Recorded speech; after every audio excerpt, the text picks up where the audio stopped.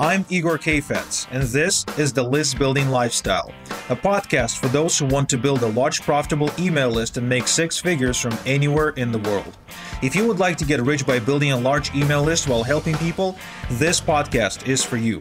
I also invite you to attend a free web class I'm conducting this week to find out how I built a list of 4,331,656 email subscribers at a profit. Secure your free seat at igor.cx. Attend this free workshop to discover an easy way to get 50 to 500 new email leads per day on complete autopilot without losing tons of money. Just go to igor.cx to attend this free web class. And now, once again, it's time to claim your list building lifestyle.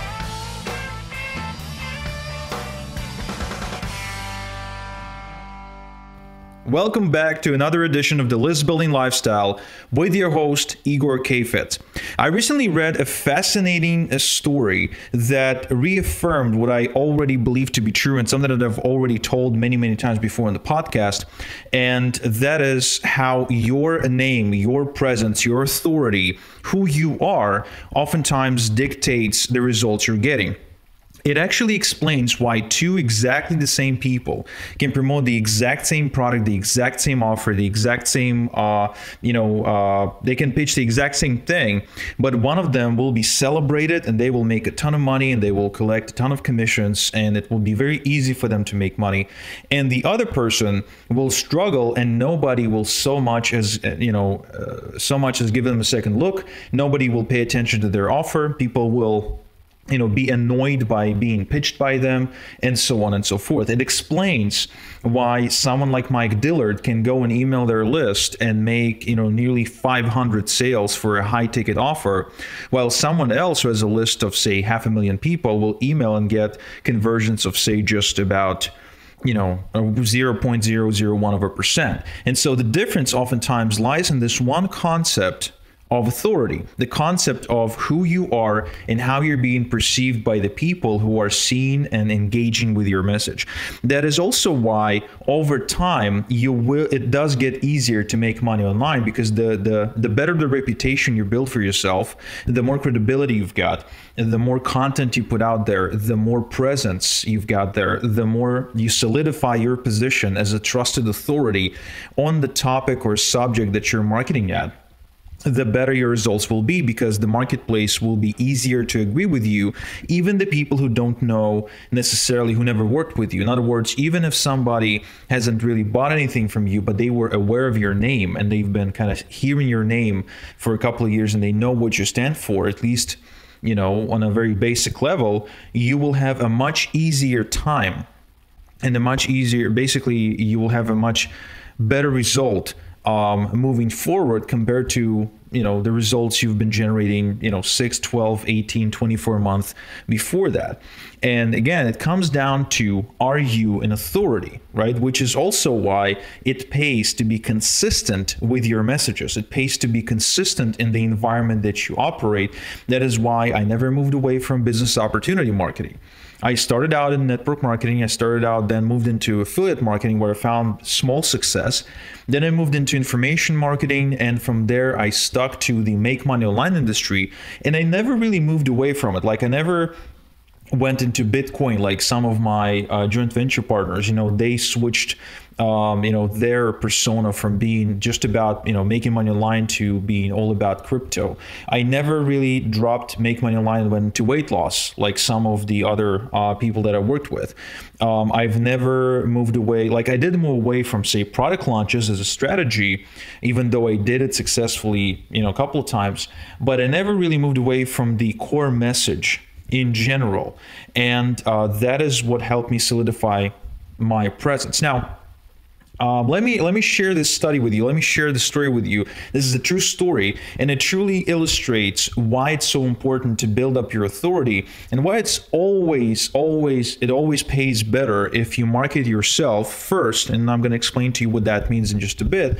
Um, it always pays better if you market yourself and not just kind of you know push out links to the universe. So basically i want to take you back to about 1930s right this is when it actually happened and during the 1930s um, an author conducted an experiment okay this this author took a novel and uh, he wrote this novel and he created two manuscripts identical with two words different. Like the only thing that was different about these manuscripts was exactly two words on the title of the manuscript. And he took these novels to all the publishing houses that he knew that he was already working with. And with one of them, he took those novels under the real name, his real name of Jerzy Kosinski. And the other novel, he took it under the, the other name, the Elias name that he had, Eric Demos. Basically, the first name, right, was an already existing and established author, while Eric Demos was, uh, you know, a fake name of an author that supposedly, you know, wasn't wasn't really famous and didn't have any work already published. And so what happened was really fascinating because when when this person brought his manuscript under the name of Jerzy Kosinski to the publishing house, uh, to all the publishing houses, they started a bidding war to try and get to you know to publish this book, and he ended up publishing under Random House and winning the uh, National Book Award for that year. And then, you know, uh, he took the other manuscript, again, exactly the same, identical. He asked a friend to start taking it to different publishing houses. A couple of years later, okay, merely three years later, under a different name, and every single publishing house refused to publish the book. They didn't even read it. They just looked at the name and didn't read it, including Random House, the publishing house that published his previous books which you know they failed to recognize that it's the exact same book they already published. They simply discarded it based on the name. Now, what does that tell you? It tells you that people will often decide on the credibility, validity, uh, authenticity, uh, and relevance of your message based on nothing else but your name, your first and last name, based on your persona, based on your presence in the market. Which is why, you know, initially starting out, even if you are providing, say, a ton of testimonials to try and close the deal, right? Even if you are sharing tons and tons of case studies, people will look at those case studies with with this lack of belief because anything that you do because you lack the authority will be perceived as untrustworthy. It explains why starting out, even if you have a perfect system, even if you have um, you know, really just the best offer in the world, it's still really, really hard to make money because your authority and credibility is simply not there. And today, this is more important than ever. This is way more important today than it was in 1930s because in 1930s, the marketplace was not infested. The marketplace was not filled with garbage. The marketplace wasn't that competitive, although it may seem that way back in the 1930s. In 1930s, all you had to do is quite literally open shop on a, a busy street, and people will just buy from you. You know, the right people would find you, and it'd be okay. Now, it, it got a little bit more competitive in the 60s and the 70s and so on, and today it's very competitive. But even then, it was super, super important to generate a brand, to, to have a name, to have credibility, have a relationship with the market, and to, to make sure that you're trustworthy like that. Yo, it's Igor. If you're loving the content, hop on over to listbuildinglifestyleshow.com for more free training and a free transcript of this episode. Oh, and I'd really appreciate if you logged into iTunes and rated the show. It really helps. Thanks. So, how do you then build authority, right? Because that's probably what you're wondering right now. How do I, okay, I get that I need to be an authority, but how do I build that authority? Well, for one, one of the easiest things you can do to start building your authority, especially starting out, is telling stories. And I've actually created a whole program around that where I educate you and show you the actual system you can use to write stories, to create stories that support your message, even if you're brand new. And you can check it out at bridge.igorsolowets.com. Okay, that's bridge.igorsolowets.com. And one of the things about telling stories, that's so critical when you're just getting started is that stories are not being challenged. Stories are not dry facts. Stories don't appeal to logic. Stories, they engage us on an emotional level. And the thing about human beings is that whatever they cannot recognize as an attempt to influence, they cannot resist. In other words, if you try to convince people to buy from you, without telling them a story starting out and you don't have uh, this credibility and authority already going for you, which is why they would listen to you in the first place, um, that would mean that they will actively resist every word you're saying. They will challenge every claim you're making, they will challenge every statement you're making, and even if what you're saying makes logical sense, emotionally, they will never accept what you're telling them at face value. You'll need to work really, really hard to convince them that you're telling the truth. You'll need to supply a ton of proof. And even then, they may act, but even then, it's going to be a reluctant action that may backfire in the form of a refund request or a quick turnaround the next day when they don't see results or you know things of that nature. So, as far as the stories are concerned, they allow you to sneak under those defenses. They allow you to sell without selling. They allow you to convey your message so it doesn't get rejected by the brain, by the logical part of the brain, and instead engage the emotional part of the brain and allow that message to sink in. So at that point, you become a trusted ally. Now, one of the ways that this has been used throughout centuries by pretty much every single major figure is, you know, uh, for example, uh, Mata Hari. So I'm not I'm not sure how many of you actually know who that is, but she was this mysterious figure that uh, fascinated everybody pretty much. And she she was famous for being fascinating. She was famous for being mysterious right? So mata hari was actually just a normal average woman. She wasn't even all that pretty but she mesmerized men. And one of the ways she did it was by making sure that the stories about her spread way before they met her. So by the time they met with her she was already in that position of fascinating them by pretty much everything she was doing.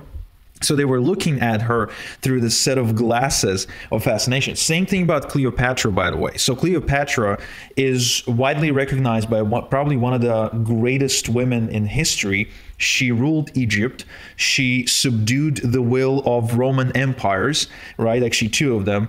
And she was very, very dangerous. Now, if if you look her up, if you start reading about her, you'll know you'll know that she didn't have any amazing beauty going for her. She was pretty average looking, but she was really good at manufacturing stories that by the time the Roman emperors got to meet her again, they were already looking at her with that fascination. So if you can create the same effect by telling stories be it stories about you personally or stories about what you've done or stories that that, that are being um, said about you by other people especially if those people are also authorities then you will be able to create an aura uh, where by the time you ask for the sale you you will already be in a highly advantageous position of, of the prospect not resisting that message because they heard the stories before and they come looking at you as a trusted authority. And so that would be your fastest way to do it.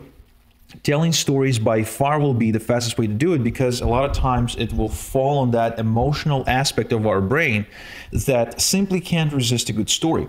Because storytelling has been wired into the DNA generations and generations ago. Was, this was the very first way we learned how to communicate, right? When we saw the first sunrise as a species, the first thing we've done is we went ahead and told a story about that sunrise to a friend, right? Or we drew the sunrise on a on a on a cave wall, right? We did something to tell that story. And you know, one would argue, and this is a bit of a philosophical argument, but you know, I do find it to be very, very interesting as a point of view. One would argue that things don't actually happen until the story of that thing happening is actually told.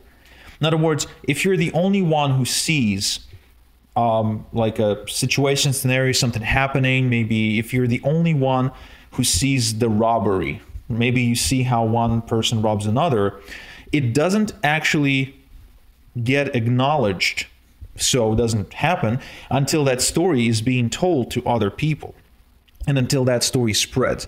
So, in other words, your credibility doesn't happen until the story spreads. Your presence doesn't exist. Like, you don't have any presence unless the stories are told. Okay. And the first source of that story should be you and that's okay for that for that story to be told by you and then for that story to be picked up by other people because people have a fascinating trait a character trait that uh, helps us marketers market better and pretty much just thrive. And that is people are really good at reaffirming what they already believe and seeking evidence to what they conclude. And when you tell them a story and you tell it in the right way, again, if you want to learn how to tell stories correctly in order to influence, okay, ethically, then you need to go to bridge.igorsolitz.com and check out my course. But if you want to tell, when, when you tell the story the right way, what happens is the person who listens to your story and takes it in, and when that story really hits, starts seeing evidence to what you implanted in their heart on their own, and then start spreading the exact same story to the market. So your customer, after hearing your best story and, and seeing how you live that story, um, your customer becomes your greatest salesperson simply because they tell your story to others. And that is really, really powerful. Nothing can be more powerful than your customer spreading your stories for you because that actually makes them true. So, with that said, again, if you want to learn how to tell stories correctly, you definitely want to check out my course at bridge.igorsolowitz.com.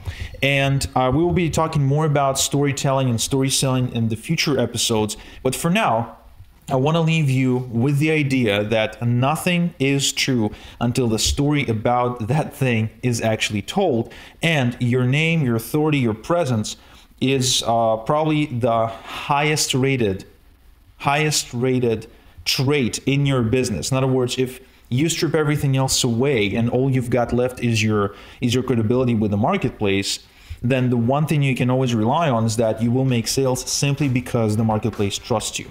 So to get that going, you definitely need to learn how to tell more effective stories. So this is Igor Kheifets. Thank you so much for tuning in. And until next time we chat, have a good one. Thank you for tuning in to the List Building Lifestyle.